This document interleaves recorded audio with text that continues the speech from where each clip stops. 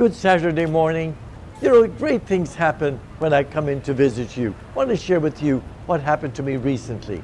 I got a call to the emergency unit in one of the, lo- the local hospitals. When I went in, I, you know, took care of the, the person who needed me and met with the family. And on my way out, I, this woman and her two children were coming in. And they, they just looked over and then the, the mom said, God bless you, Father. Thank you for doing this. It's a gift that you come and, and bless the sick. And I said, Well, I'm leaving. And she said, No, you're not. You're leaving a blessing, but you're also taking a blessing with you. I've got to remember that. We leave a blessing and we take a blessing with us.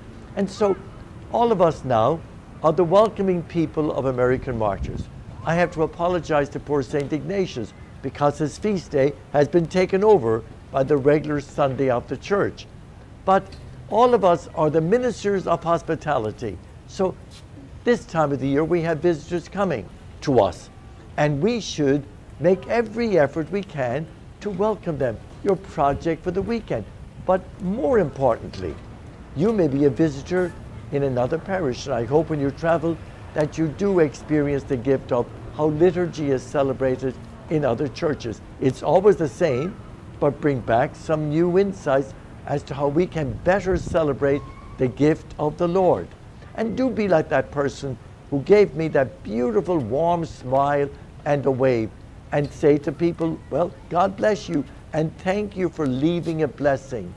Sometimes you may want to say that when you have visitors in your home. God bless you and thank you for leaving a blessing. Sometimes we kind of we finish the, the time together and we walk away. But I think that's a beautiful greeting and I'm going to use it uh, in my own life as a gift from the Lord. So continue to enjoy your vacation time, but greet the visitor. Don't let anybody leave your home or our area feeling like a stranger.